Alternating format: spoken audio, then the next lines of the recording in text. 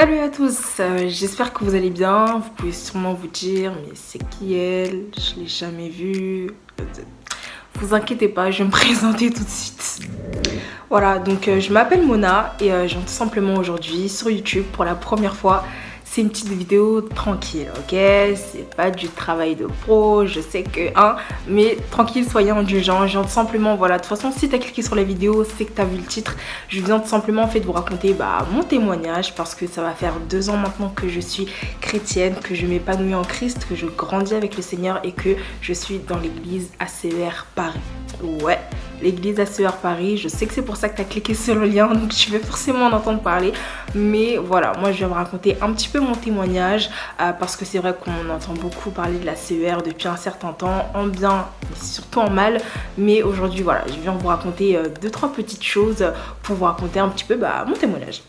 Donc voilà, euh, comme je vous l'ai dit, comme vous l'avez entendu juste avant, ça fait maintenant deux ans que je suis chrétienne et que j'ai intégré l'église ACR. Mais pour raconter un petit peu mon témoignage d'avant, en fait j'ai toujours été euh, catholique. Voilà, j'ai toujours été dans une famille catholique, mes parents qui étaient catholiques, etc. J'allais à l'église tous les dimanches, etc. Mais voilà, j'étais jeune, on m'y a un petit peu emmené, on m'a un petit peu forcé entre guillemets à être chrétienne si je peux dire ça et voilà j'allais à l'église catholique et euh, pendant un certain moment pendant beaucoup beaucoup d'années je dirais peut-être peut-être 5, 6, 7, 8 ans, je sais plus, euh, j'ai arrêté d'aller à l'église. Voilà, j'ai arrêté du jour au lendemain. Faut savoir que j'avais fait ma, première communion, mon baptême, ma profession de foi et tout, etc. Pour ceux qui connaissent. Et voilà, pendant de très, très, très, très nombreuses années, j'ai arrêté d'aller à l'église parce que bah, ça m'intéressait pas. Je, je voyais pas forcément de changement. En fait, j'allais à l'église juste par habitude.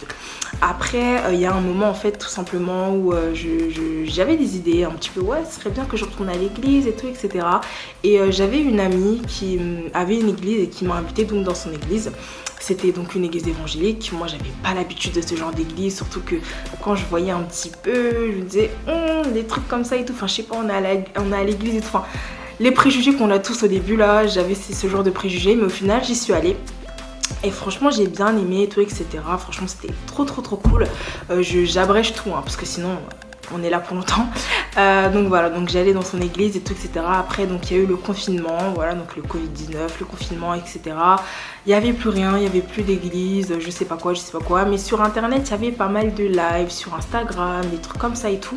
Il y avait beaucoup de lives chrétiens et tout. Moi, ça m'intéressait, j'ai assisté, etc.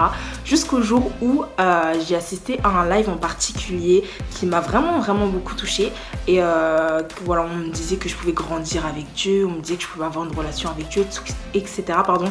Et c'est vraiment à ce moment-là, bah, ce jour-là, en fait, que je suis née de nouveau, euh, que je suis née de nouveau, que j'ai accepté le Seigneur Jésus en tant que Seigneur et sauveur dans ma vie, que je l'ai accepté dans mon cœur et que je suis chrétienne depuis ce temps.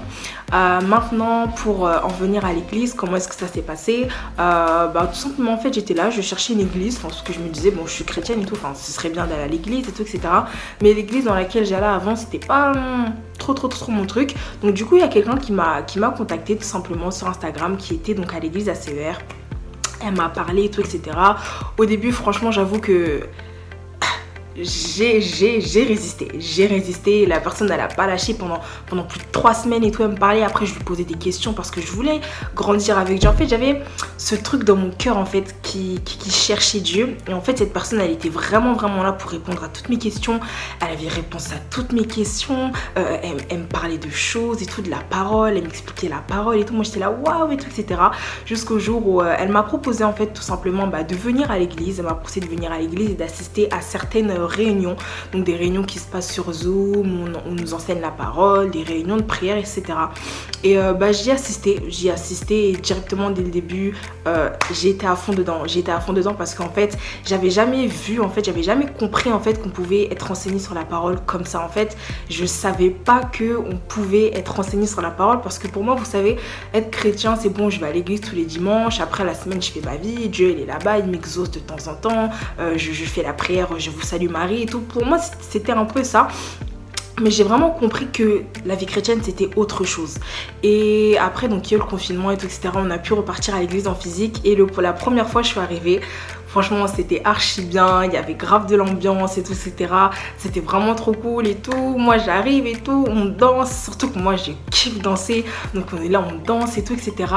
Et il y a la parole. Et euh, je me rappelle même de quelque chose. C'est que je crois que le premier message que j'ai écouté en venant dans cette église, c'est euh, un message en fait qui parlait en fait de, notre santé, qui parlait de, du fait qu'on soit un corps, qu'on doit bien manger, qu'on doit prendre soin de notre corps, de notre hygiène de vie, de notre vie en fait vraiment de tous les jours, mais selon la parole de Dieu, vous voyez. Et euh, ça m'a vraiment, ça m'a vraiment touché. Du coup, bah, j'ai commencé à aller tous les dimanches, tous les dimanches, etc. Et vraiment, bah, aujourd'hui, ça fait deux ans que j'y suis, comme quoi. Et voilà, en fait, euh, même pour vous raconter un petit peu mon témoignage. Moi, j'ai toujours été une fille un petit peu réservée. J'avais mon cercle d'amis, c'est-à-dire qu'on était trois, on était un trio et tout. Je j'avais pas d'autres amis ou quoi que ce soit. Et dans ma vie, bon, à cause de, tout, enfin, mon témoignage, quoi, donc au niveau de ma famille et tout, etc., j'ai toujours été un petit peu euh, celle qui était mise à part. En fait, je me sentais toujours un petit peu à l'écart. Et du coup, en fait, j'avais une famille sans vraiment en avoir. En fait, j'avais une famille, voilà, physique, mais dans mon cœur, je n'avais pas forcément euh, de relations. Je j'avais pas, en fait, cet amour en fait qu'on devrait avoir en tant que membre de notre famille et même dehors les amis et tout. Moi j'étais quelqu'un qui, je suis quelqu'un en fait qui me donne toujours à fond dans les relations. Et après des déceptions euh, des déceptions amicales et tout etc donc en fait j'ai toujours été en quête d'amour en quête d'affection parce que je donnais beaucoup et j'attendais en fait qu'on me donne beaucoup en retour aussi. Et j'étais vraiment euh, en recherche très très très grande en fait de, cet amour. Et j'arrivais pas à le combler tout simplement jusqu'à ce qu'un jour en fait on puisse me prêcher l'évangile et euh, que je puisse comprendre et que je puisse être convaincue au fond de moi que seul Jésus-Christ en fait peut, me combler en fait de, cet amour.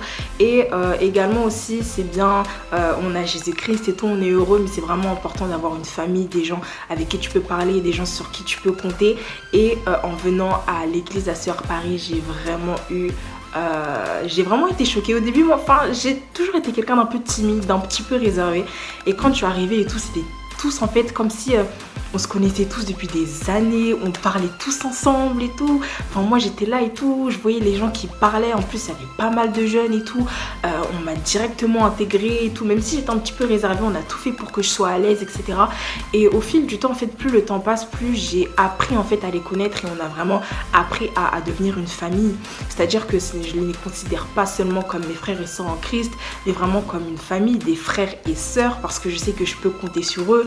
Euh, je sais que quand il y a eu des certains, certains ont été là pour moi, moi j'étais là pour certains.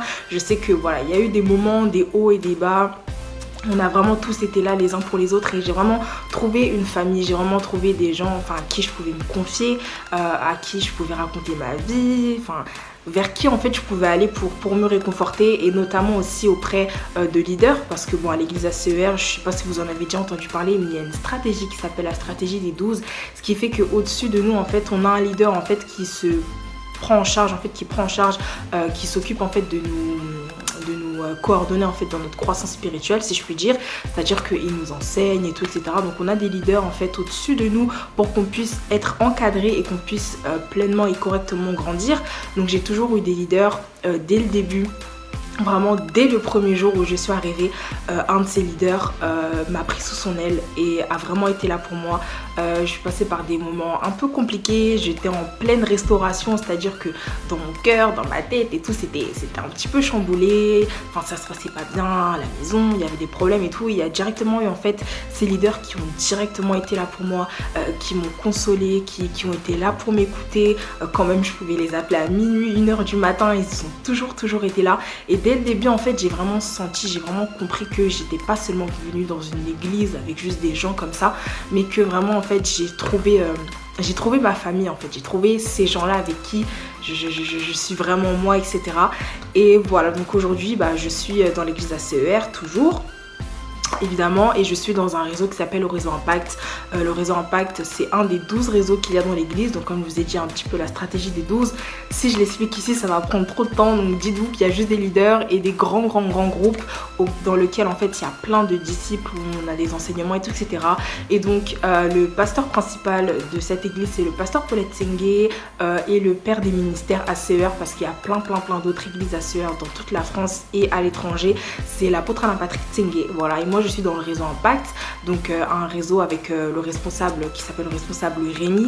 Et vraiment, ce que je peux dire depuis ces deux ans, c'est que j'ai vraiment grandi. comme je vous ai dit, euh, je savais pas ce que c'était la vie chrétienne. Je m'attendais pas à ce que la vie chrétienne ce soit ça. Et il y a une chose aussi que j'ai vraiment vraiment compris en étant la CER et c'est quelque chose qui m'a vraiment surpris et en fait au travers de tous les enseignements etc. J'ai vu en fait au travers des enseignements par la parole de Dieu parce que les enseignements sont toujours basés sur la parole de Dieu. Franchement, si on lit vraiment bien la parole de Dieu, si on cherche à comprendre la parole de Dieu, tu verras que tout ce qui est dit est biblique et j'ai pu vivre des expériences incroyables avec le Seigneur, j'ai pu vivre euh, des choses euh, tout, simplement en fait que je n'aurais jamais pu vivre. Et j'ai vraiment appris euh, que c'était possible d'avoir une relation, une communion avec Dieu. Et j'ai même commencé à la vivre.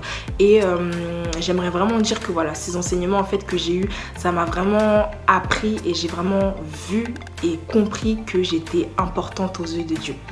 Parce que j'ai toujours cru, j'ai toujours pensé, en fait je me suis toujours un petit peu rabaissée, je me suis toujours un petit peu sous-estimée, je, connaissais pas vraiment ma valeur ou alors je me dévalorisais tout simplement.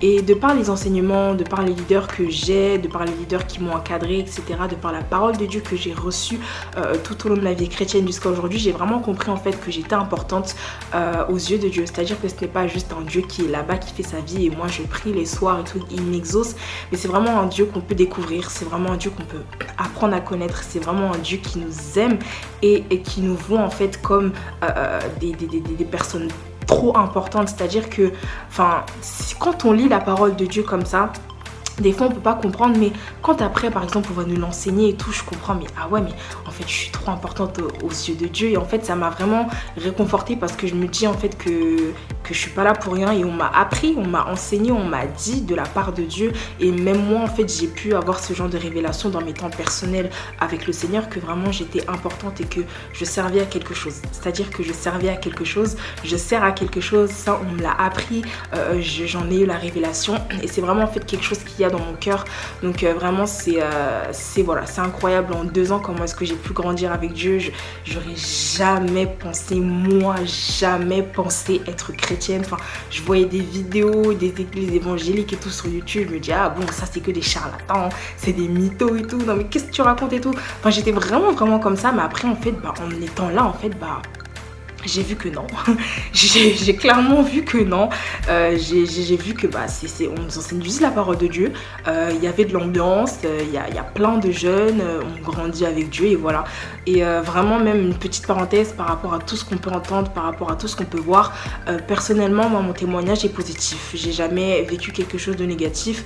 on m'a pas obligé à faire cette vidéo. Je fais cette vidéo de mon plein gré. Je le fais parce que je pense que c'est important qu'on puisse le faire parce qu'on a entendu pas mal de de, choses mauvaises et euh, c'est important de, pouvoir raconter mes témoignages. Moi, j'ai toujours un témoignage positif. Il n'y a jamais rien eu de négatif. J'ai seulement fait que grandir avec Dieu. J'ai seulement que appris à connaître des gens, à les considérer comme ma famille. J'ai vraiment pu euh, avoir des révélations de la parole de Dieu. J'ai vraiment capté ce que c'était que la vie chrétienne et vraiment c'est c'est génial. Et je sais que j'irai loin, je sais que j'irai très très très très loin. Et euh, vraiment, voilà, je, me sens bien. C'est ma maison, je sais que c'est là que je grandis, je sais que c'est là euh, que, que, je vais accomplir l'appel en fait que Dieu a pour ma vie parce que je disais juste avant que je sais maintenant que je, je ne sers pas à rien et c'est parce qu'en fait Dieu a un appel pour moi et il en a même pour chacun d'entre nous. Mais on m'a vraiment appris, on m'a vraiment dit, même le Seigneur lui-même en fait de par notre communion, notre relation, a pu me révéler en fait que j'avais un appel et je sais que je ne sers pas à rien et euh, c'est grâce à ces enseignements, c'est grâce à, ces leaders en fait que j'ai au-dessus de moi en fait que euh, j'avance vers mon appel. Parce que vous savez dans la vie on se fait pas tout seul.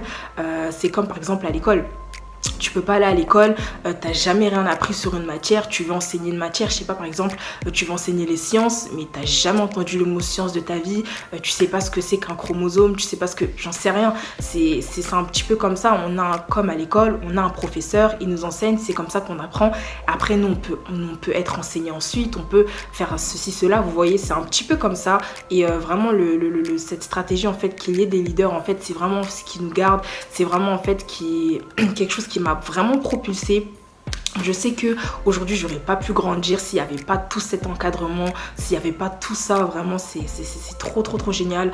En tout cas voilà, je sais que depuis deux ans je grandis énormément et je sais que c'est pas Voilà, peu importe ce qu'on peut entendre, moi je sais que euh, je suis très très très très épanouie et je continue de m'épanouir plus le temps avance. Je sais que je grandis avec Dieu, je le sais, je le vois, je grandis vraiment avec Dieu et c'est vraiment trop trop trop trop trop génial. En tout cas, voilà, je, voulais vous raconter un petit peu tout ça. J'espère que la vidéo, bon, j'ai un petit peu tout abrégé parce que sinon on va se retrouver là pendant une heure, c'est pas le but. Voilà, je voulais un petit peu vous raconter tout ça et euh, voilà, j'espère en tout cas que euh, ça vous a plu, hein, voilà, le, jargon de, YouTube. J'espère que la vidéo vous a plu, j'espère... non, je rigole. En tout cas, bah, j'espère que hum, ça a pu vous servir à quelque chose, je sais pas. Euh, j'espère que ça en a béni plus d'un. Voilà, sachez qu'on est tous le corps de Christ, on se soutient les uns les autres, on est une grande famille.